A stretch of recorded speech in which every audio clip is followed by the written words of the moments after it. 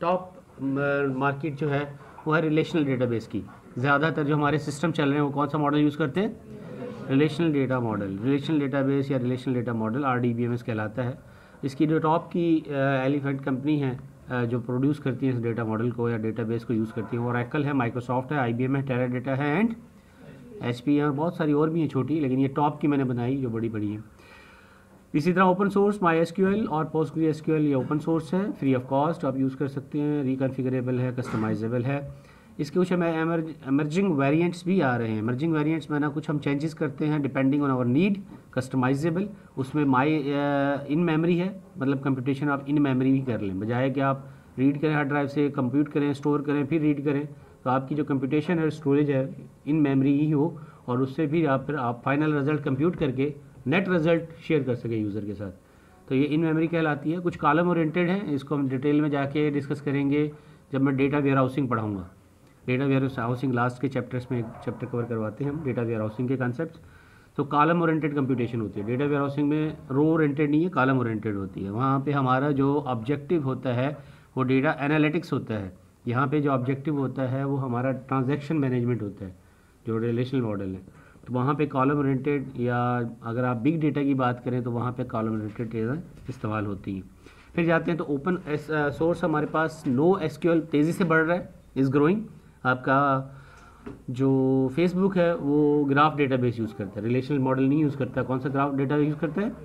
Graph database इसी तरह जो डिफरेंट जो आपके ट्विटर वगैरह अकाउंट्स वगैरह हैं, ये they are working on graph models तो they are using no S Q L no S Q L stand for non SQL दूसरे लफ्ज़ों में कुछ लोग ये भी कहते हैं कि ये है not only S Q L कुल मिला के बात ये है कि इसमें हम कहते हैं कि जो हमारी no S Q L model हैं, वो ऐसे मॉडल हैं, है कि जिसमें हम रिजिडनेस नहीं है रिलेशनल मॉडल की। हम थोड़ा सा रिलेशनल मॉडल को साइड में कर देते हैं और हम depending on the nature of data grow करते हैं। इसमें हमारे पास डेटा एनालिटिक्स के अंदर जो बड़े टूल हैं, जिसमें हम कहते हैं कि डेटा रिलेशन ना हो, लेकिन हम रिलेशन फाइंड आउट करेंगे या को रिलेशन फाइंड आउट करेंगे। तो इसमें हमारे पास बड़े जो टूल हैं, वो हडूब है मैप प्रोड्यूस है स्पार्क है। हडूब और मैप प्रोड्यूस ये बिग डेटा एनालिटिक्स के टूल हैं। आगे जाके अगर आप अभी एडवांस कोर्स पढ़ेंगे बिग डेटा एनालिटिक्स तो वहाँ पे यूज़ होंगे। स्पार्क ग्रोइंग वर्जन है इसका लेटेस्ट वर्जन है, जिसमें हम यूज़ करते हैं। ये भी बिग डेटा एनालिटिक्स के लिए इस्तेमाल होता है। फिर अगर हम बात करें तो की वैल्यू स्टोर है, जो डेटा स्टोर होता है, वो हम कहते हैं डेटा एक तो डेटा है, एक दूसरा डेटा आइडेंटिफायर है। डेटा आइडेंटिफायर को हम कहते हैं की मिसाल के तौर पे एक आप तब तमाम लोग एक चीज़ से आइडेंटिफाई किए जाते हैं पूरी पाकिस्तान में, वो है NIC number so N number is a key जो यूनिकली आइडेंटिफाई करेगी हर इंसान को। हर इंसान का एनआईसी नंबर क्या होगा? पाकिस्तान में डिफरेंट होगा।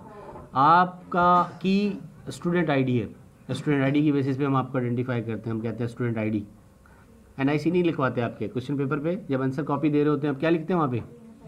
एम एस आई डी तो आप यहाँ आइडेंटिफाई होते हैं C M S I D की बेसिस पे। तो दिस इज़ अ की अब key is mapping to a name key is mapping to a C G P key is mapping to a cell number तो एक चीज़ data है और दूसरी की है। तो ये की वैल्यू स्टोर कहलाता है। इसकी बड़ी एग्जांपल कैसेंड्रा है मंगो डी बी है काउच डी बी है लेवल डी बी है, इस तरह के डेटा बेसिस इस्तेमाल होते हैं। अगर इसको नाम नए लग रहे हैं तो इसके लिए नाम मैं बता देता हूँ। दूसरा नाम है इसका ब्लॉकचेन ब्लॉकचेन जो यूज़ करता है वो काउच डी और लेवल डीबी यूज़ करता है। ब्लॉकचेन में डेटा जो स्टोर होता है वो की एंड वैल्यू उसकी बेसिस पे होता है। तो आपके पास एक की होगी और उसकी ट्रांजैक्शन में अमाउंट होगी बैलेंस अकाउंट अब वो किसका है? इसकी इन्फॉर्मेशन रिक्वायर्ड नहीं होती है। ब्लॉकचेन में हम ये नहीं स्टोर करते कि ये इन्फॉर्मेशन ये डेटा किसका है। बस हम कहते हैं कि जिसके पास की है, उसके पास डेटा जिसकी लाठी, उसकी भैंस। तो जिसके पास की है पासवर्ड है, उसका ही डेटा है वो। हैश मैप भी कह सकते हैं आप। बस की होगी यूनिक की होगी, जो कि डेटा को मैप करेगी। दूसरे दूसरे लफ्ज़ों में इसके लिए हम यूज़ करते हैं मैप अब आगे चलते हैं तो हमारे पास कुछ सॉफ्टवेयर की रिक्वायरमेंट होती है डेटा सर्चिंग के लिए जो बनाए जाते हैं for searching most generalize software हमारे पास मोस्ट वाइडली यूज़ सॉफ्टवेयर है, वो है गूगल सर्चिंग के लिए यूज़ करते हैं। उसके अलावा दूसरे नंबर पर आता है बींग माइक्रोसॉफ्ट ने प्रोड्यूस किया है। और बहुत सारी कंपनी बना रही हैं सॉलिड सोल्यूशन है और वेरियस सेमेंटिक स्कॉलर्स हैं, ये डिफरेंट सर्चिंग के सॉफ्टवेयर हैं. तो हमें डेटा सर्चिंग के लिए सॉफ्टवेयर चाहिए होते हैं, वो मौजूद हैं. कुछ अदर हमारे पास मार्केट ग्रोइंग है, जो कि क्लाउड बेस्ड सर्विसेज़ है. ठीक है platform as a service software as a service और हार्डवेयर एज ए सर्विस जिसको हम कहते हैं आर्किटेक्चर एज ए सर्विस ठीक है? तो ये हमारे पास ग्रो कर रहे हैं. Cloud services are expanding quickly इसमें अमेजोन की रेड शिफ्ट है. इलास्टिक सर्च है. ई एम आर माइक्रोसॉफ्ट का अजूअर है हराकू है ये सारे के सारे क्लाउड सर्विसेज़ हैं जो हम यूज़ करते हैं। गूगल भी यूज़ कर रहे हैं Google cloud storage computation and as a we can say platform as well तो ये हमें प्रोवाइड करते हैं डेटा uh, स्टोरेज के लिहाज से सर्विसेज़ प्रोवाइड करते हैं। नहीं गूगल जो है वो इसके पीछे एक बड़ा इंपॉर्टेंट इसका एल्गोरिथम चलता है उसको कहते हैं page rank algorithm page rank. वो क्या करता है? जो पेज जितना विज़िट होता है ना उसका रैंकिंग करता है। जो जितना ज़्यादा यूज़ होगा उसको ऊपर टॉप पे ले आएगा। ठीक है? और जितना मतलब ज़्यादा सर्च किया जाता है उतना ही उसको ज़्यादा यूज़ करते हुए टॉप पे ले आएगा। अगर आप गूगल पे जाके देखें मिसाल मेरा नाम लिखे तो कहीं ना कहीं नज़र आ जाऊँगा मैं पहले ही पेज पे। क्लियर है? सर्च किया जाएगा तो आ जाएगा। तो मतलब हाँ गूगल के पास गूगल के पास। नहीं पेज रैंक एल्गोरिथम जो है, वो की वैल्यू स्टोर में स्टोर करेगा। क्योंकि डेटाबेस की देखो, जहाँ से फ़ायदे हैं ना, जो रिलेशनल मॉडल के, वहाँ पे उसकी सिक्योरिटी के इश्यूज़ भी है परफॉर्मेंस के इशू भी हैं। तो डिपेंडिंग ऑन के आपकी कितनी सिक्योरिटी है, उस लेवल पे आप कंप्रोमाइज़ करेंगे with respect to accessibility searching searching उतनी स्लो हो जाएगी। जितने ज़्यादा सिक्योरिटी है, उतने ज़्यादा सर्चिंग या एक्सेसिबिलिटी स्लो हो जाएगी। जितनी आप पब्लिक दे दें, उतना ही जल्दी फास्ट है।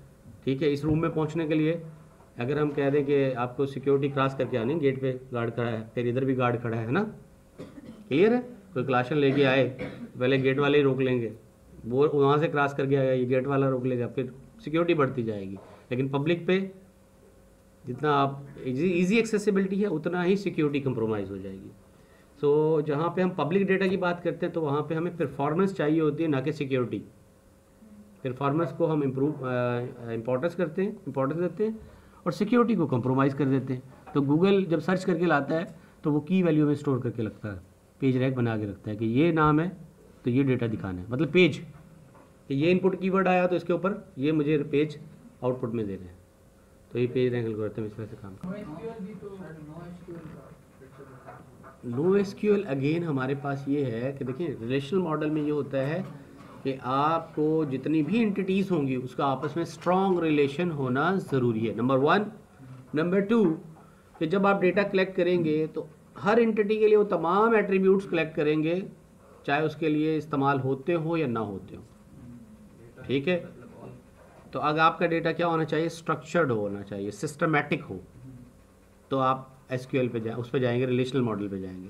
अगर आपका डेटा जो है हैपहैजर्ड है इज़ नो स्ट्रक्चर तो फिर आप नो एस पे जाएँगे। इसकी बड़ी एक आसान एग्ज़ाम्पल समझाता हूँ। फेसबुक पे यूज़र कितना है? मैं पहले अकाउंट बनाता हूँ। मेरे फ्रेंड कितने होंगे? एक, दो ज़ीरो फिर मैं दो, तीन, चार फ्रेंड बन जाएँ, दस, बीस बन जाएँ। किसी के दस होंगे, किसी के बीस होंगे, किसी के पचास, किसी के हज़ार, किसी के पाँच सौ और किसी के पाँच हज़ार। अंडरस्टैंड कर रहे हैं? अगर मैं जा रहा हूँ एस के रिलेशनल मॉडल पे तो मुझे बनाना होगा एक टेबल और उस टेबल में मैं कहूँगा मेरा नाम आईडी एटसेट्रा और friend one F one F two F three friends की लिस्ट बनाऊँगा। अब जिसके पाँच हज़ार है, उसके लिए एफ़ फाइव फाइव थाउज़ेंड तक होगा।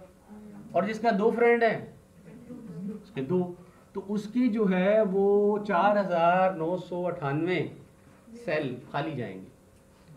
वो चार हज़ार नौ सौ अठानवे सेल जब खाली होंगे वेस्टेज ऑफ़ रिसोर्सेज तो ये आपका जो रिलेशनल मॉडल है, वहाँ फेल हो जाएगा।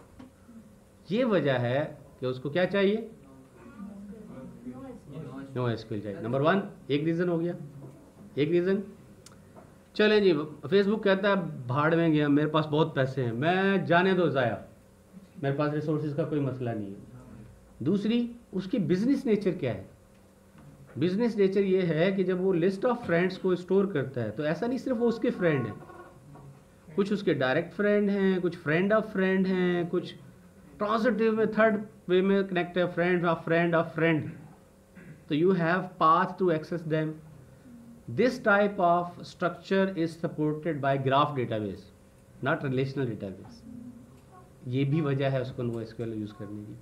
तो हमने कहा कि देखिए मल्टीपल फीचर होते हैं मल्टीपल फैक्टर होते हैं जिसकी वजह से आप डिसाइड करते हैं कि मुझे कौन सी चीज़ सेलेक्ट करनी है। ठीक है? मल्टीपल फैक्टर होते हैं। कुछ पे आपको कंप्रोमाइज़ करना पड़ता है, कुछ को आपको तरजीहात में आपको डालना पड़ता है। क्लियर है? तो उन तरजीहात को देखना है कि आपको यार कि कौन सी चीज़ है फ्लैक्सीबल है। कौन सी चीज़ है जिसको मैं स्किप कर सकता हूँ? मेरे लिए ये इंपॉर्टेंट नहीं तो उसको आप स्किप कर दें। Clear so it is decision मिसाल के तौर पर चले, एक और कॉमन लेमैन की एग्ज़ाम्पल बताता हूँ। आपने माशाल्लाह बड़ी हैवी जैकेट पहनी हुई है ना? तो मैंने हल्की सी स्वेटर पहनी हुई है। और बल्कि उसका तो रुआ भी निकल रहा है बहुत ज़्यादा फील हो रहा होगा ना? क्लियर है? बट मुझे ये कंफर्ट देती है और इसका वेट आपकी जैकेट से वन थर्ड या वन फोर्थ होगा। इट्स लाइट वेट लेकिन गर्म उससे ज़्यादा है। ठीक है? और ये रुआ गर्मी देता है और ज़्यादा। जब फील करता हूँ हाथ जब सर्दी लगती है ऐसे कर लेता हूँ वो गर्म हो जाता है। सो so, और लुक एंड फील अच्छा नहीं है इसका? अच्छा नहीं लग रही ना आपको? मैं बात बता बेटा मैं एक बात बता रहा हूँ। सो so, आपकी प्रेफरेंसेस प्रेफरेंसेस आपकी चॉइसेस होंगी कि मुझे मेरी ज़रूरियात क्या है रिक्वायरमेंट क्या है प्रेफरेंसेस क्या है। किसको आप स्किप कर सकते हैं किसकी इंपॉर्टेंट है। तो यहाँ पे फेसबुक वाले को रिलेशनल मॉडल बना सकता है वो। नो इशू ऐसा नहीं है कि भाई रिलेशनल मॉडल नहीं लग सकता लग सकता है। लेकिन उसको कंप्रोमाइज़ करना पड़ेगा स्टोरेज में कंप्रोमाइज़ करना पड़ेगा। जो बिज़नेस की नीड है उसकी वो पूरी नहीं होगी। और होगी तो बहुत कम्प्लेक्स हो जाएगी।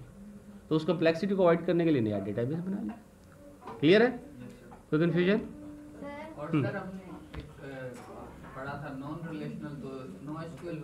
एक एक ही बात मतलब मैं नॉन रिलेशनल मतलब वो जिसमें रिलेशन ना हो। जो रिलेशन ना हो उसका बेस्ट वर्जन जो चल रहा है जो मोस्ट वाइडली यूज़ वर्जन है वो है ग्राफ ठीक है? And other is key value store एक तो ग्राफ है ग्राफ में क्या होगा? नोड के साथ कनेक्टेड नोड नोड के साथ कनेक्टेड नोड नोड के साथ कनेक्टेड नोड और इस तरह से पढ़ गया है ना डिस्क्रीट में? D F S B F S तो एक तो ये नेचर है। और दूसरा ये है कि चीज़ का रिलेशन दूसरी चीज़ से वन बाय वन है one to one mapping one function पढ़ आएँगे one to one one to many many to one onto one to है ना? तो वो, अब आपकी बिज़नेस की नेचर क्या है? कि मैं ग्राफ डेटाबेस पे जाऊँ या की वैल्यू पे जाऊँ? अगर मैं ब्लॉकचेन बना रहा हूँ ट्रांजैक्शन मैनेजमेंट सिस्टम बना रहा हूँ तो मुझे दोनों चाहिए। परफॉर्मेंस भी चाहिए सिक्योरिटी भी चाहिए। तो मैं की वैल्यू स्टोर पे जाऊँगा ग्राफ डेटाबेस पे नहीं जाऊँगा।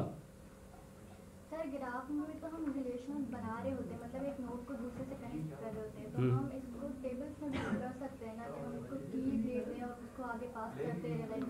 ठीक है हो। सकता है लेकिन देखें आपकी जो रिट्रीवल होगी इंफॉर्मेशन की आप जब रिट्रीव करेंगे इंफॉर्मेशन तो वो सारी इंफॉर्मेशन स्ट्रक्चर्ड में होगी। पूरी रो पूरी रो फैच करनी पड़ेगी। अगर मैं किसी फ्रेंड के जाके फेसबुक पेज पे क्लिक करूँ तो ये पूरा अकाउंट उसका फैच होगा। It's a big huge data उसके लोड होने में टाइम लगेगा परफॉर्मेंस कंप्रोमाइज़ हो जाएगी। जब मैं क्लिक कर रहा था किसी फ्रेंड पे तो सिर्फ़ मैं उसकी प्रोफ़ाइल देखना चाह रहा था और जब मैं उसके बटन पे क्लिक करूँगा फ्रेंड्स उसके फ्रेंड्स तब जाके उसके फ्रेंड्स लोड होना शुरू होंगे आपके सिस्टम में।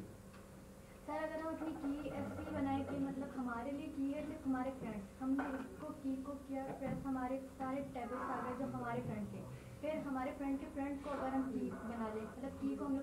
रहे तो। ये देखिए मैं बात बात कह रहा हूँ कि जब आप लोड करेंगे सिस्टम में अब थोड़ा सा कंप्यूटेशन के लिहाज से आए। अभी आप पढ़ भी रहे होंगे। और पढ़े भी गए, इसके साथ कंप्यूटर आर्किटेक्चर तो बहुत सारे इशू आएँगे। आपका डेटा लोड होगा हार्ड ड्राइव से रैम में रैम से कैशे में कैशे से रजिस्टर्स में। तो आपको जो नज़र आ रहा होता है डेटा वो रजिस्टर्स के अंदर से आ रहा होता है। और कितना डेटा है आप कैशे में ला सकते हैं? आप जब फेसबुक यूज़ कर रहे हो तो सिर्फ़ फेसबुक यूज़ नहीं कर रहे, आपका ऑपरेटिंग सिस्टम चल रहा है और बहुत सारे सॉफ्टवेयर चल रहे हैं, उसके लिए भी तो कैशे चाहिए। तो आप उसमें मिनिमम डेटा स्टोर करेंगे। कैशे के अंदर लोड करेंगे। तो मिनिमम का जो ट्रिक्स हो सकती है, वो depending on type of business है। अगर आप सारा लोड कर लेंगे मतलब की बना लिया आपने सारे फ्रेंड्स की, सारे फ्रेंड्स कितने? पाँच हज़ार। पाँच हज़ार को मल्टीप्लाई कर, एक एक बंदे के नाम में कितने हैं? चले मैं थोड़ा कर ले कर देता हूँ। नहीं क्लियर हो जाएगा कंसेप्ट एक नाम, एक करेक्टर यूनिकोड आज की मेरी चल रहा। है किसमें चल रहा है? Unicode Unicode required two byte एक नाम है सैयद उशाहिद हुसैन शाह बुखारी, रहमतुल्लाह ठीक है? अब हम मल्टीप्लाई करो उसको। फिर उसके फ्रेंड्स के नाम ऐसे ऐसे होंगे। तो कितनी मेमोरी क्या चाहिए उसके लिए? डेफिनेटली और इंसान को क्या चाहिए? जल्दी, जल्दबाज इंसान बाय नेचर ठीक है? बाय नेचर वो जल्दी चाहिए। उसको यही समझ में नहीं आता फिलोसॉफिकल ऑफ़ लाइफ कि जल्दी नेचर की जो है, वो क्या करती है? बस जो काम मैंने करने हैं मेरी ज़िंदगी में, मैं जल्दी जल्दी कर दूँगा, जल्दी मर जाऊँगा। ऐसा नहीं है। मैंने इस दुनिया में आगे जो करना है काम, वो डिफाइंड है। वो मैं जल्दी जल्दी करूँगा तो जल्दी जाऊँगा ना। हमारे वालदेन जो थे, दादा थे, वो सौ सौ साल जीते थे। आप कोई तस्वर कर सकता आप लोगों में से सौ साल जीने का? हाँ? ठीक है अच्छी बात। तो आ, तो ये है तो हम उजलत चाहिए हमें जल्दी चाहिए ना। ठीक है? तो उसके लिए हमें परफॉर्मेंस के लिए ऐसी स्ट्रैटेजीज लगानी पड़े। अगर हम सिलो वाला मॉडल बना दें बना दें ठीक है ओके चलेगा। लेकिन लोग यूज़ नहीं करेंगे फ़ेल हो जाएगा। तो चीज़ जो इस्तेमाल नहीं होगी लोग यूज़ नहीं करेंगे फ़ेल हो कौन हो जाएगा अपनी कंपनी में फ़ेल होना अपने प्रोडक्ट में फ़ेल होना ठीक है? तो वो सोचेगा कि कस्टमर की नीड क्या है। क्लियर है?